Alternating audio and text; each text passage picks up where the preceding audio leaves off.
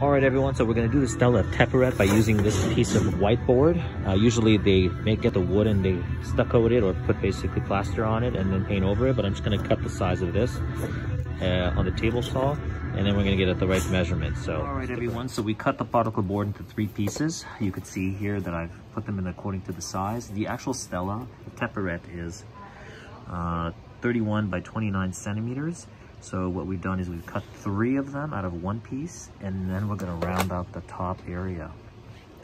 So we're gonna round it out from here and to create and replicate the actual Stela. Now, usually it would be on wood, a thick wood, but I'm not gonna do that this is too heavy. We'll just use this particle board, which is light and easy to use. So stay tuned for the rest of the, uh, the next. All right, now, now what we've done is use the, uh, the, the compass and we're using just a ruler and we're gonna draw the line here to be able to shave it off so it looks like a proper Stela, the one that we're going to make. So after that, we're gonna use the saw to cut the uh, contour area around so we can uh, shave off the pieces, sand it down, and then begin the painting process. All right, now that we've chopped the pieces off with the saw, here you can see the corners are gone, right? To get to that Stela mode, now we're gonna use uh, some sandpaper and we're just gonna soften it up and round it around so it uh, looks nice and proper. So, all right. All right. Now with some elbow grease and some sanding, you can see the top is rounded off as it would normally be in the Stela. Uh, traditionally, it wouldn't just be a square, but it would kind of taper uh, right over here, be beveled. So it'd be beveled on the corners like that. So this is what we've done. Now we can begin the drawing process and then eventually the painting process. So only two steps left. So we'll do a time lapse of the drawing.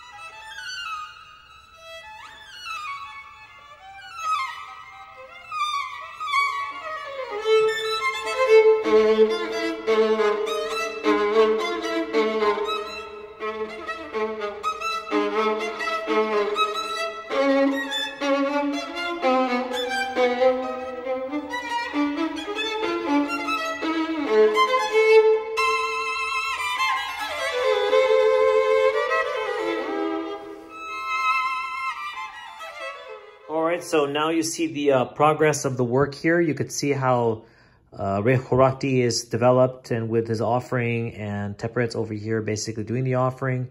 And then the, the, the Nutska on top with the with the solar disc over here, but it's basically being with two flank by two and two uh, Wadjet eyes. So we're gonna, there's still a lot to do. There's the rays that are coming down. And we're going to do all this, and there's some columns with floral columns on the sides. We're going to do those as well. So stay tuned for that, guys.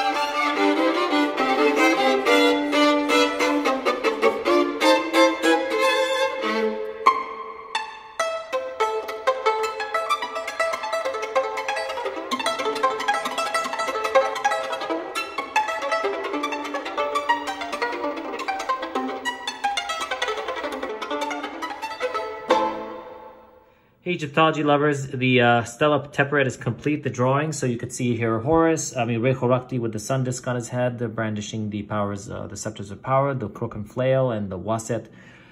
You have here the sun disk with the uh, two uraei. This is uh, Re-Horakhty's name right over here. The two Wadjet eyes for protection. The hieroglyphs that tells who this is and what her offering is. This is Taperet. This is the uh, offering table of bread, uh, uh, bread, wine, uh, oils, lotus flowers, different type of things. Uh, is brandishing the crook and flail and the uh, scepter of power with the symbol of life. Here you have Nephirim on each Nefertum on each side, basically lotus flower coming out of his head, and the lily flower coming out with a symbol of the sky above, the pet.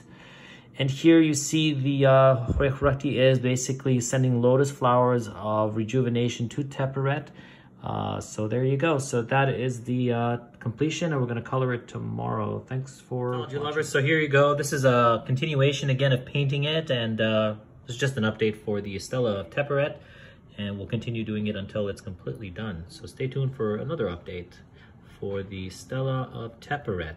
Everyone, so the Stela of Taperet is complete. I've added all the colors. The only thing that's missing is the pink for her face, but I'm going to leave it blank because I don't have the pink. But there you go. That's it. The colors are all added in. Uh, I hope you enjoyed watching the development of this Stela. Uh, it's just a simple board, not a piece of wood, just to save ourselves a little time. And all the colors have been added. So there it is, everyone. I did a post about this. You can read a little bit more about the hieroglyphs up there, but this is the completion of the uh, Stela of Taperet. Thanks, guys.